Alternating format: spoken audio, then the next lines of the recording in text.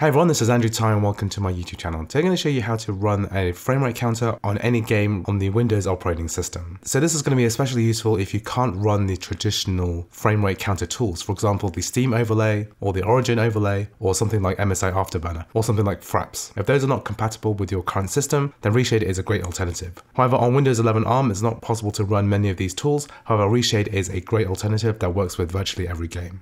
So I'm going to show you how this works. What we're going to do is to go to the reshade.me website. I'm going to leave a link to this in the description. And all we need to do is to do a download of this. So I'm going to download this now.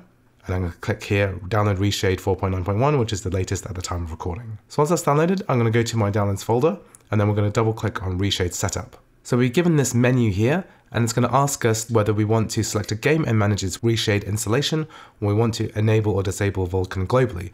Basically, we want to use this option here. This is so that we can specify exactly which game we want to show the frame rate for. So I'm going to click here now. Basically here it's detected all of the games that have been installed on the computer. This is basically all of the Steam games that have been added.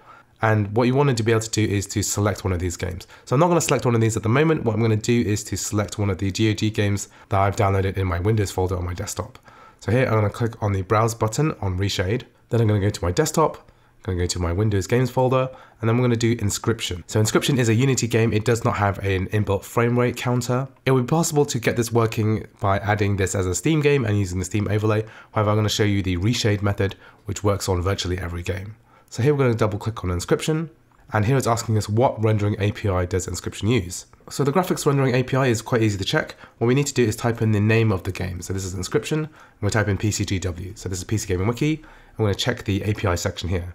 So we're going to go to the Inscryption article, and then what we're going to do is to basically scroll down until we get to the API section here. And what it says here is that the API is DirectX 11. So this is the API number that we need. So we have the choice here of DirectX 9, 10, 11, 12, OpenGL or Vulkan. So this particular game is a DirectX 11 game, so we're going to select that button there. So here what we're going to do is to uncheck, because we don't actually want to use any of the shader options here. We want to uncheck all of them. So here we're going to press uncheck all, and then SweetFX will not be loaded, or any other shader option too. I don't want to interfere with that, I want to do some performance testing. Well, so once I've unchecked all, I'm going to press OK. Now I can click the Edit Reshade Settings.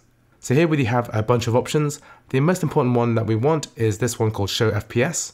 And ideally as well, we also want to skip tutorial. So this is something that will appear on the screen, which will try to teach you how to use Reshade. We don't need this, we just want to show the frame rate counter. Here I'm gonna press OK, and then I can quit out of this. Now I want to actually run my game, I'm gonna go to my Inscryption folder, and I'm gonna run my GOG version of the game. So as you can see on the top right hand side of the screen, we have the frame rate counter and this is provided by Reshade.